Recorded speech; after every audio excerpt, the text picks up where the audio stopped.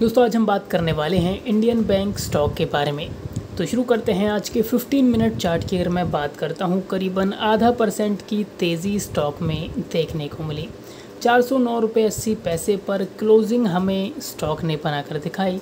वहीं three hour chart की अगर मैं बात करता हूँ तो एक शानदार रैली स्टॉक में जारी है। अगर यही तेज़ी कंटिन्यू रहती है तो आने वाले ट्रेडिंग सेशंस में जो टारगेट स्टॉक अचीव करेगा वो हैं 425, 450 यहाँ तक कि 475 रुपीस तक के टारगेट भी इंडियन बैंक अचीव कर सकता है। तो अगर आपके पोर्टफोलियो में इंडियन बैंक शामिल है कंटिन्यू होल्ड करें और यहाँ पर फ्रेश बाइंग का मौका भी स्टॉक बना रहा है। तो बिल्कुल बाइंग करके चल सकते हैं इंडियन बैंक स्टॉक को। तो यही स्ट्रेटजी आपको अपनानी है। वीडियो देखने के लिए आपका बहुत बहुत धन्यवाद।